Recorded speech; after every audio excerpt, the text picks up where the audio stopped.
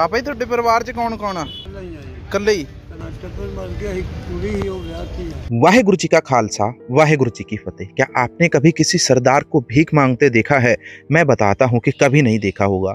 दोस्तों, पिछले करीब साठ सालों से यह बुज़ुर्ग सरदार जी यहाँ पर बैठकर काम करते हैं, रोज़ाना सारा दिन धूप में बैठते हैं और एक एक रुपए कमाते हैं, लेकिन कभी भी किसी से भीख नहीं मांगते हैं। ना तो इनका घर है और ना ही इनके बच्चे हैं।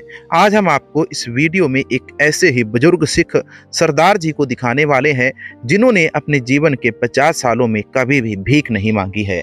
एक बार इनके ऊपर इतनी बड़ी मुसीबत आई कि उस समय इनके पास एक भी रुपए नहीं था।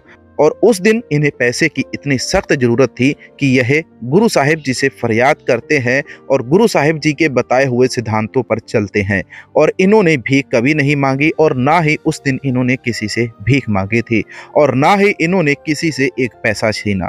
जिस दिन इनके पास पैसा नहीं था तो उस दिन गुरु साहिब जी ने इनके ऊपर कृपा की और इनको सड़क के किनारे जाते समय एक हज़ार रुपये मिल गए।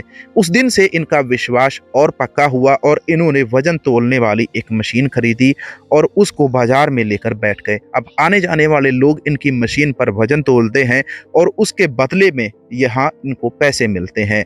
आप भी अपने हाथों से किरत करें चाहे कोई भी काम हो, कोई भी काम छोटा या बड़ा नहीं होता।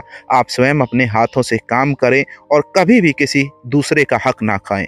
यह बुज़ुर्ग सिख गुरुद्वारा दुख निवारण साहिब के बाहर अपनी दुकान लगाते हैं और जब भी आप वहाँ पर कहीं जाएँ तो इनकी पहचान करके इनकी दुकान पर जाकर अपना वज़न तोलकर इनको पैसे ज़रूर दे दे देना।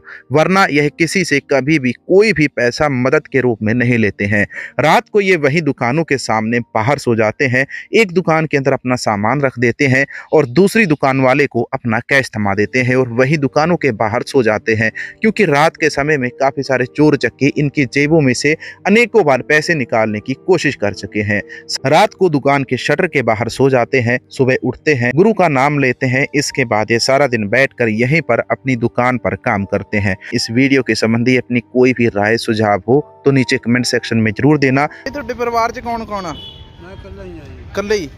ਇੱਥੇ ਹੀ ਰਹਿੰਦੇ ਵੇ ਹਾਂ ਟੱਬਰ ਮਰ ਗਿਆ ਸੀ ਕੁੜੀ ਹੀ ਉਹ ਵਿਆਹਤੀ ਆ। ਅੱਛਾ ਜੀ। ਉਹਦੇ ਦੋ ਬੱਚੇ ਕੁੜੀ ਦਾ ਮੁੰਡਾ। ਤੇ ਫਿਰ ਤੁਸੀਂ ਰਹਿੰਦੇ ਕਿੱਥੇ ਸ਼ਹਿਰ 'ਚ? ਸ਼ਹਿਰ ਦੇ ਇੱਥੇ ਆ 15 ਨੰਬਰ ਦੁਕਾਨ।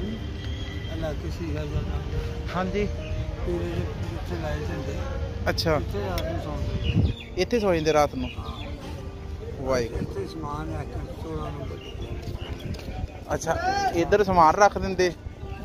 ਉਧਰ ਪੈ ਜਾਂਦੇ ਜੇ ਇੱਧਰ ਸਮਾਨ ਰੱਖ ਦਿੰਦੇ ਇੱਥੇ ਸਮਾਨ ਉਹਨੇ ਆਪੇ ਚੁੱਕ ਕੇ ਇਹਨਾਂ ਰੱਖ ਦੇਣਾ ਵਾਹਿਗੁਰੂ ਕੂੜ ਕਰ ਦੇਣਾ इस वीडियो को आगे शेयर जरूर करना मिलेंगे एक नए वीडियो में वाहेगुरु जी का खालसा वाहेगुरु जी की फतेह चैनल को सब्सक्राइब करके बेल आइकन को ऑल पे कर लें और वीडियो को लाइक करने के बाद कमेंट करने के बाद व्हाट्सएप में शेयर जरूर करना